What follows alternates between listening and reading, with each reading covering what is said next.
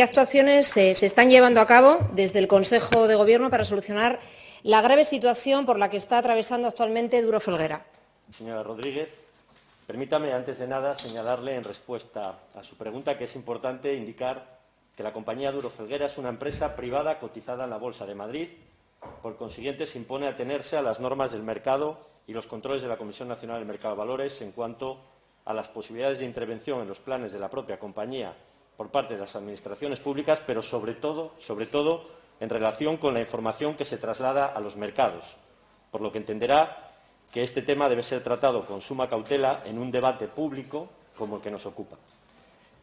Pero entrando en el fondo del asunto, eh, quiero decirle que compartimos la gran preocupación por el futuro de la compañía y el empleo actual. Consideramos estratégica, como no puede ser de otra manera, la empresa en relación con el tejido industrial asturiano y, en ese sentido, el Gobierno del Principado y, y el Ministerio de Industria mantienen una estrecha colaboración, dedicando especial atención a la empresa en sus distintas solicitudes de apoyo, gestiones y alternativas planteadas para el correcto desarrollo de sus proyectos actuales.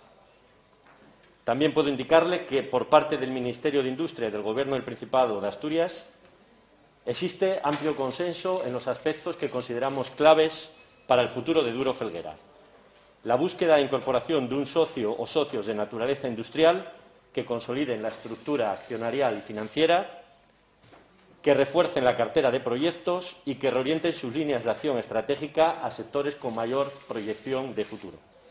También es crucial para ambos gobiernos el mantenimiento del empleo, la actividad y los centros de producción y de decisión aquí, en Asturias. Y todo ello sin descartar que la entrada del capital público en la compañía pueda constituir también una solución temporal que garantice la continuidad de la compañía. Muchas gracias, señor presidente. Y gracias al señor consejero por su respuesta. Pero mire, eh, no hay ninguna información que no tengan en los mercados de valores que no tengamos el resto, porque casi toda la información sensible se ha publicado. Eso se lo digo para que eh, cuando eh, contestamos a una pregunta de una diputada, en este caso, tampoco hace falta llamar al coco, porque, insisto, la información ya se tiene. Señor consejero, mire, este es, le voy a decir, tecnológicamente y laboralmente un mirlo blanco porque aquí solo con voluntad política, única y exclusivamente con voluntad política, vamos a poder salvar una empresa estratégica para Asturias. Y le digo con voluntad política, y eso supone, entre otras cosas, intentar que el miedo no nos atenace, que es algo que habitualmente parece que le pasa a este Gobierno.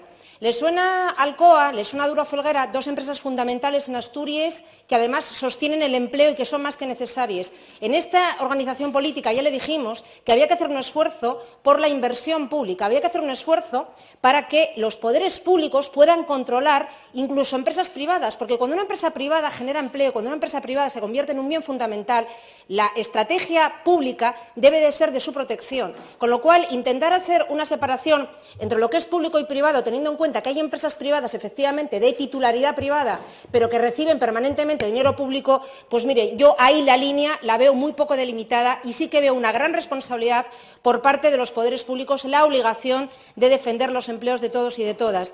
¿Cómo ha llegado Duro Felguera a esta situación? Aquí esperamos, en este grupo parlamentario, que las próximas decisiones que se tomen, da igual que las tome esta consejería o las tome esta consejería en consonancia con el Ministerio de Industria, sean lo suficientemente acertadas y responsables para que no volvamos a tener una decisión eh, equivocada y volvamos a tener una situación como la que tuvimos en el pasado. Y a esto me refiero, señor consejero, porque hay que revisar muy mucho hay que revisar muy mucho con mucha tranquilidad y mucho tiento, no volvamos a trufar un Consejo de Administración de otros intereses que no sean los intereses de la defensa de los derechos laborales de nuestra gente asturiana y de los derechos de la empresa. Le digo, hay que tener cuidado con las cosas que hacemos, las decisiones que tenemos.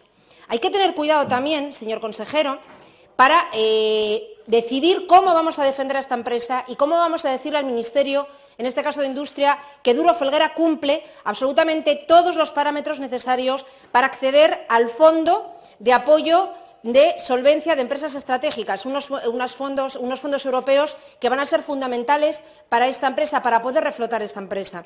Mire, mm, la empresa tuvo beneficios en el 2019. La empresa es un sector estratégico, estratégico. Además, oferta un servicio estratégico a uno de los ministerios estatales. Tiene un altísimo valor un altísimo valor en capital humano y tecnológico. Y ahí es donde nos choca bastante que una empresa como Duro Felguera, por razones X que usted conoce bastante bien, haya perdido proyectos de más de 250 millones de euros en Alemania.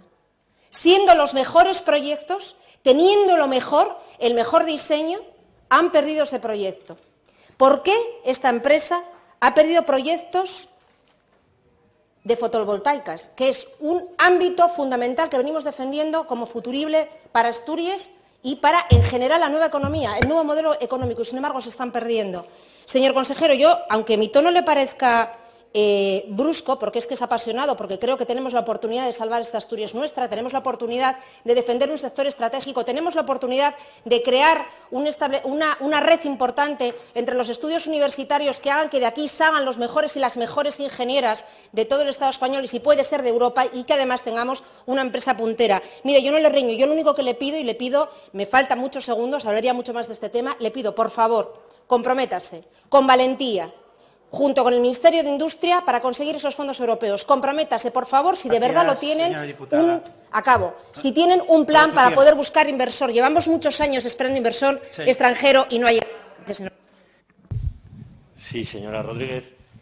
Eh, si no fuera por el tono, pues podría creerla que pero totalmente parecía que me estaba riñendo, sinceramente. No sé, será una percepción mía, quizás, ¿no? Mire, no, no llamo en absoluto al coco. El coco al que tenemos todos eh, que temer es a que la empresa Duro Felguera no pueda mm, superar sus dificultades y en ese frente creo que tenemos que estar todos eh, en común. Yo le llamo simplemente a la prudencia y advierto que es un tema en el que se puede manipular y de hecho nosotros manipulamos información sensible que debemos mandar, mantener de forma confidencial, como por ejemplo el interés de ciertos inversores con nombres y apellidos que no podemos hacer público. Eh, hay ciertas cosas en las que no puedo estar de acuerdo con usted como cuando dice presuntamente que puede ser culpa de este gobierno o nacional o regional el trufar el consejo según con qué personas no hemos tomado ninguna decisión relativa al consejo de administración son decisiones que está tomando la propia dirección de la compañía por un proceso de cooptación y tampoco entiendo que se nos pueda culpar a nosotros de que se pierdan según qué contratos en la actividad privada y comercial que está desarrollando la propia compañía. Yo le voy a decir lo que sí que hemos hecho, tanto el Ministerio como el Gobierno? Pues colaborar en distintas iniciativas para que vea que no estamos de perfil y que hay hechos concretos que avalan esta afirmación. Hemos ayudado a obtener el compromiso del CESCE para que ponga una contragarantía de 60% para un primer tramo de deuda de 20 millones de avales y un 50% de, de garantía para un segundo tramo de 60 millones de avales en las líneas de crédito. Por tanto, eso sí que lo hemos hecho, pero desgraciadamente las entidades financieras no han respondido facilitando esa línea de avales. También hemos intervenido a través de ministerios en la operación de arbitraje del proyecto Roy Hill, que ha permitido, frente a la empresa Samsung, recuperar a Duro Felguera a finales de 2019 más de 100 millones de euros, en un esfuerzo diplomático realizado también por el Ministerio. Y también estamos colaborando con la compañía y con diversas consultoras en la búsqueda de un socio o socios de naturaleza industrial, y esa es, eso es clave, que tenga un perfil que permita fortalecer la estructura financiera y aporte garantías operativas a la compañía. El objetivo es garantizar su supervivencia.